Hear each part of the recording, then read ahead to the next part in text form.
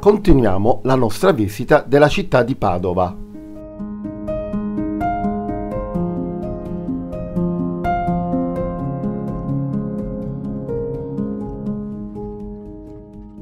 Popolarmente chiamata il Bo, la sede storica dell'Università di Padova ospitò personaggi illustri come Galileo, Copernico, Giovanni Battista Morgagni, fondatore dell'anatomia patologica, e William Hervey, che con quanto appreso nel corso dei suoi studi a Padova scoprì la circolazione del sangue.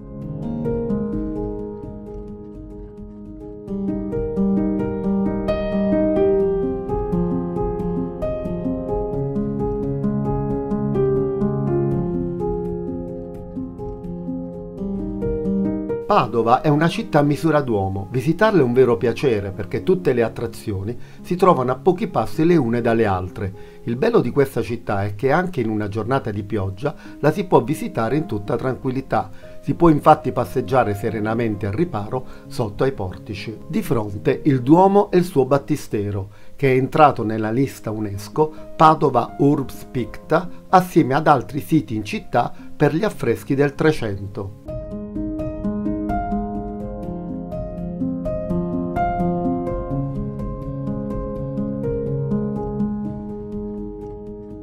Siamo ora nella chiesa dei Servi. Il monumentale altare barocco dell'Addolorata, realizzato da Antonio Bonazza, accoglie il fedele di fronte all'ingresso. Ai lati dell'altare maggiore si aprono due cappelle. Quella di sinistra in particolare ospita il crocifisso ligneo di Donatello, una delle prime opere del grande scultore in città e oggetto di un evento miracoloso.